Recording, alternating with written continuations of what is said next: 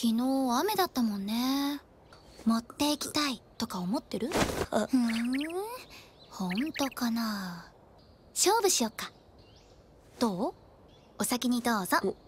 ちょっとね。なんか西方が大きい氷持って嬉しがってる小学生みたいだなって。惜しかったな。負けた方は勝った方の手をあったかくするの。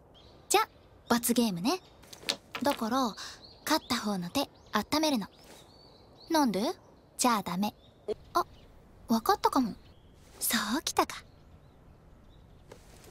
髪の毛。おはよう。今日も寒いね。今日って体育あったっけ？そうだよね。ありがとう。ねえ西方今下駄箱開けてちょっとがっかりしてたけど。どうかしたの？うーん。渡したって言えば渡したのかな。